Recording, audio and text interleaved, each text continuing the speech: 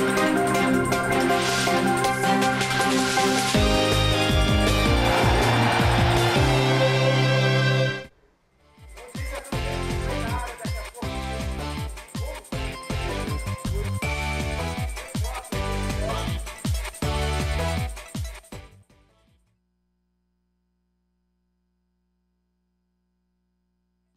Agora a gente já se ajustou. Daqui a pouco vocês vão conferir como foi o jogo treino do Santa Cruz, alguns reforços no esporte e também as novidades do Náutico. E aqui no estúdio, ó, Paredão da Ilha, Magrão, ídolo da torcida rubro-negra. Só que antes a gente começa com Copa das Confederações.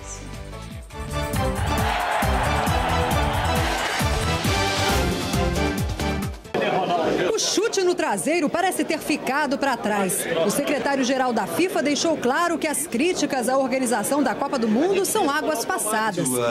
Jerome Valk disse que o clima entre o governo brasileiro e a federação está ótimo. O ministro do Esporte entrou no espírito e brincou quando a tradução simultânea falhou, bem na hora em que Jerome Valk falava.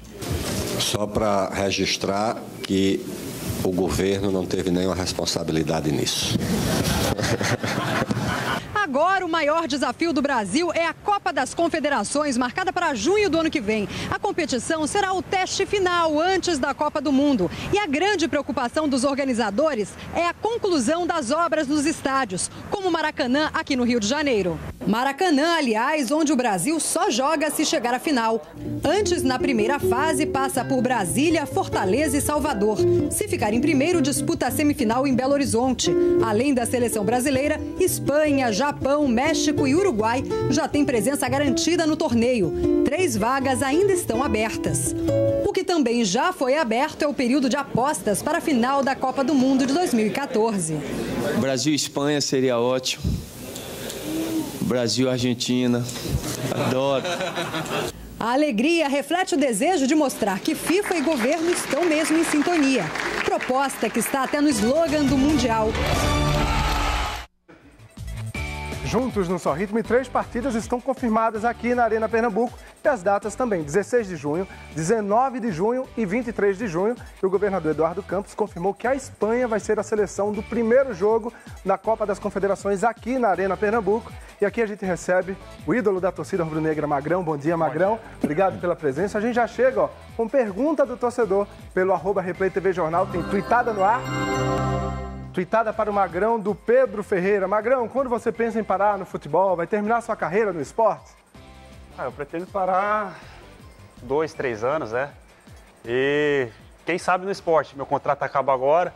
E se o esporte me procurar para renovar, eu renovarei. Se não, procurarei outro time, né? Seu contrato acaba quando, Magrão? Dezembro desse ano. Dezembro desse ano. E o time do Magrão, viu, torcedor, vai recebendo reforços. Um novo atacante e outros jogadores de dentro do próprio elenco todos querendo aproveitar esse período sem jogos na Série A.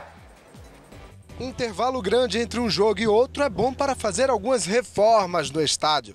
Máquinas e homens trabalhando para deixar tudo nos trinques. Ajustes necessários na estrutura. Ajustes também no time, para deixar a décima colocação, vencer a primeira no Campeonato Brasileiro e começar a olhar os adversários do alto. A gente quer mais, a gente quer depender, eu vou ficar em décimo.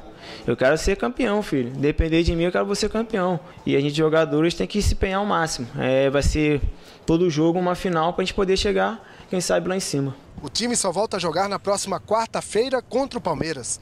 Tempo bom para trabalhar.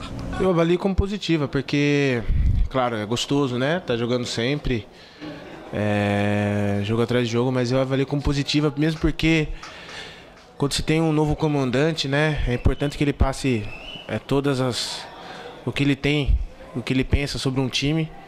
E é importante você ter um tempo bom de treinamento para se encaixar nessa nova filosofia. Tempo bom também para o técnico Wagner Mancini, que aos poucos vai recebendo algumas novidades nos treinos. E elas vêm de dentro do próprio clube. Williams e bola é um bom sinal. O atacante se recupera de uma fratura na perna e agora busca a forma ideal. E ele não foi o único a deixar o departamento médico. O volante Hamilton já está de volta. O volante Germano, depois de mais de seis meses, também. E não para por aí. O atacante Robertson e o zagueiro César também já estão à disposição do comandante. E ainda faltam mais três. Jael e Naldinho eles apresentaram lesões musculares. Esse tipo de lesão demanda em torno de 21 dias para a recuperação.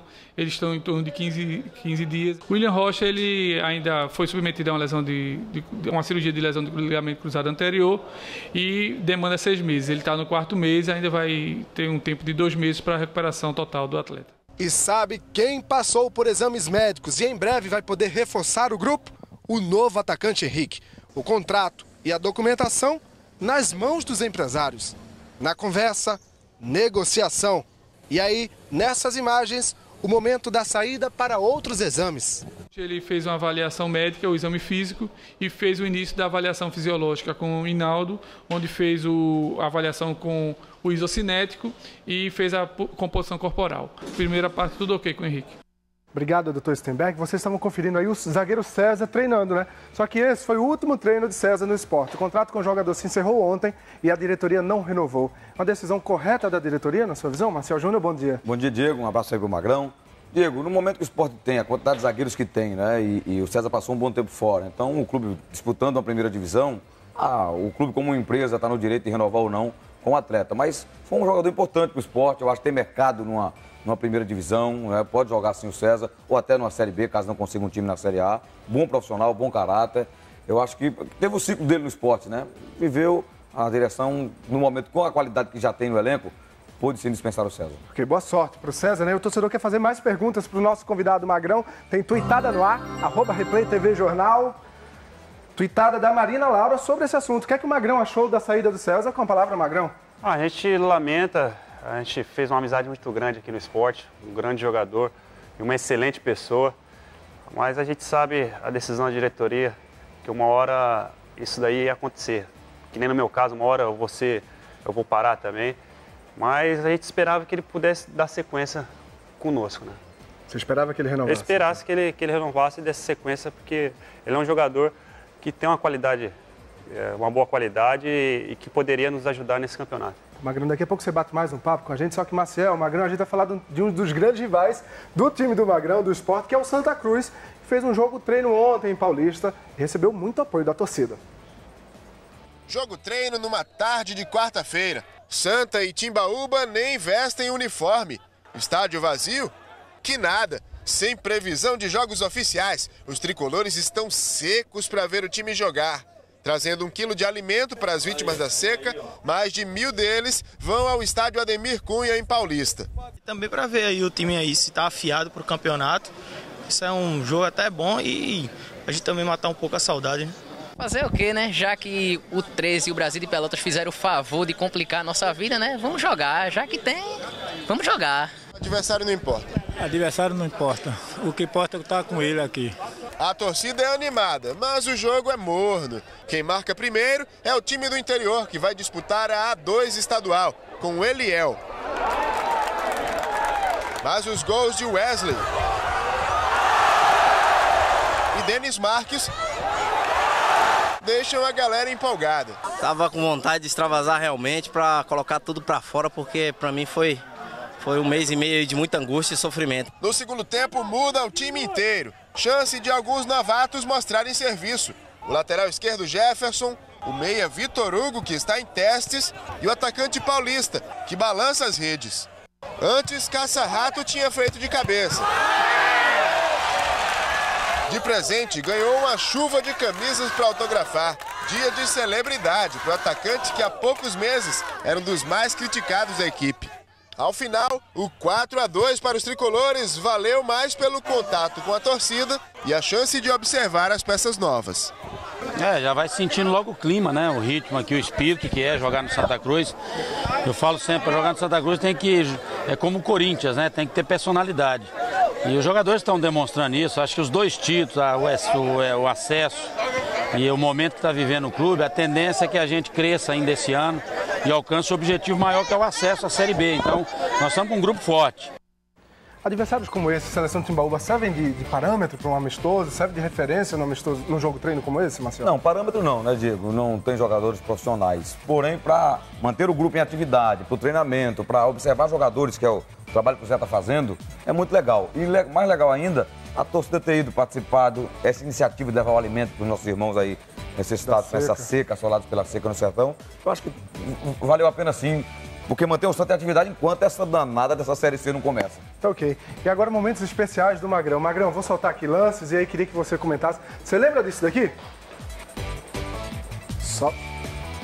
Não, não é a defesa. Solta, por favor. A gente tá falando do Magrão, goleiro. O lance com o Rogério Senna. Solta pra mim, por favor. Foi um gol, né? Vai falando.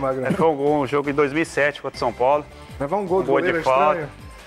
É estranho, mas é um cara competente e muito qualificado, né? E aí teve um pênalti? Teve um pênalti onde eu pude praticar a defesa, né? Um lance aí. Qual a Né? sensação aí? A situação foi, foi, foi muito gratificante, até mesmo porque eu falei, pô, não é possível tomar dois gols do, do goleiro numa partida só, né? Então eu falei, tem que pegar esse pênalti. Isso foi em 2007, né? 2007, isso. E entrar pra história dos gols de goleiro no, no jogo, né, Magrão? É, já, o Fábio do Cruzeiro, que já fez isso, já tomou dois gols do Rogério Ceni.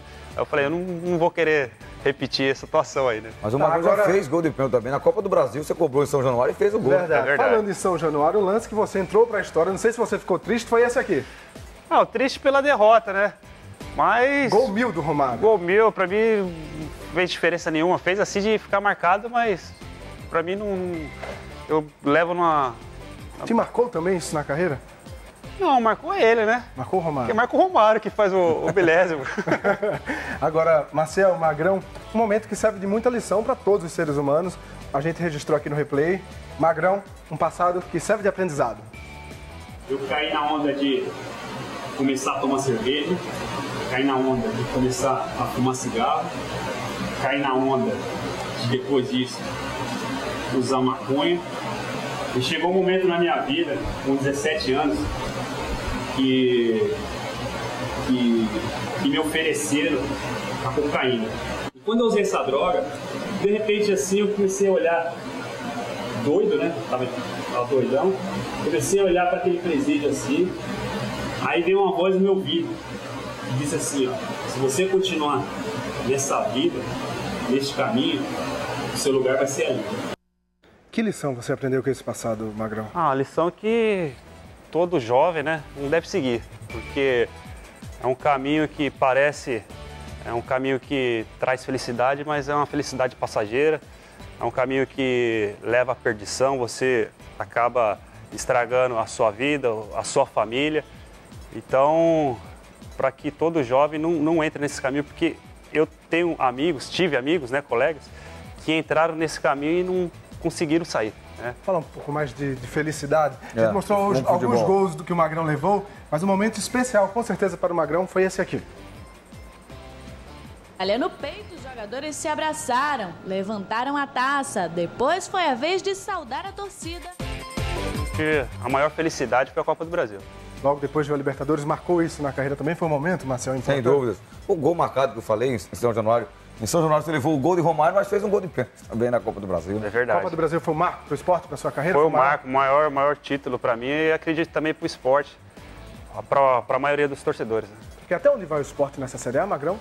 Ah, a gente está trabalhando muito para que o esporte venha a ser uma grande equipe aí e consiga aí os objetivos que sejam campeonatos internacionais. Até onde vai o esporte nessa Série A, Marcel? Eu espero que vá longe, como o Naldo também, né? Que já ocupem o lugar na Sul-Americana, ou se não puder a Sul-Americana, pelo menos permaneçam mais um ano. Grivio Magrão, segunda rodada, você já foi escolhido um dos melhores da, da, da rodada, o melhor goleiro. Você esperava já brilhar já na Série A de repente, já numa segunda rodada?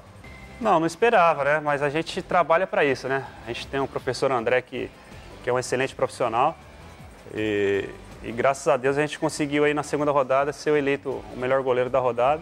Isso daí é fruto do trabalho.